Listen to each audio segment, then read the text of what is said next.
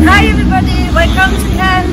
I'm very happy to be with you today for this new number of One Destination, One Venue, One Decision Maker.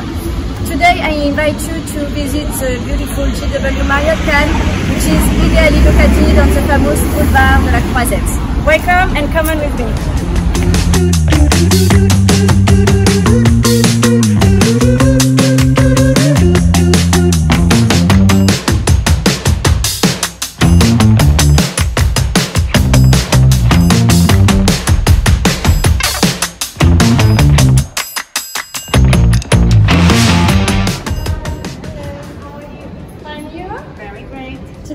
Have the pleasure to meet one some very important person of the hotel who is Carole Fracas. Nice to meet you. It's a pleasure to welcome you at the JW Marriott Cannes. Thank you for your hospitality, Carole.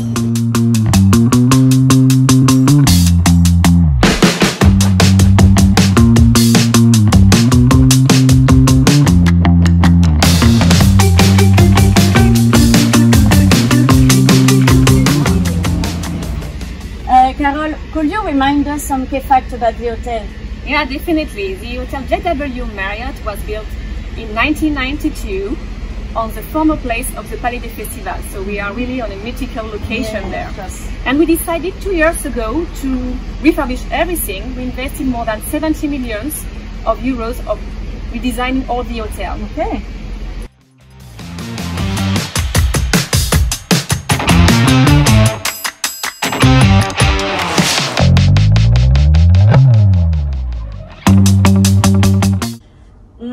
Carole, what can you tell us about this room or this suite? So we are here in the presidential suite. Yeah. Okay. Yeah.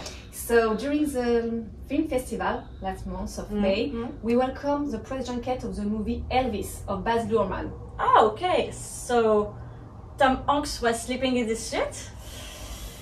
This is secret, but probably. okay.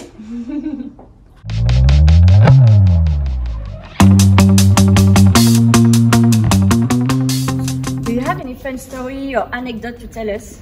Yeah, um, I don't have a funny story, but I have a mythical story.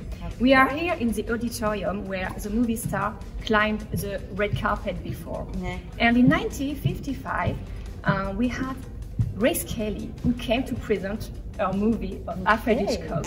And it was an opportunity for her to meet the Prince Rainier of Monaco. And you know, yeah, that's a beautiful story. Yeah, beautiful love story and a real fairy tale. Okay.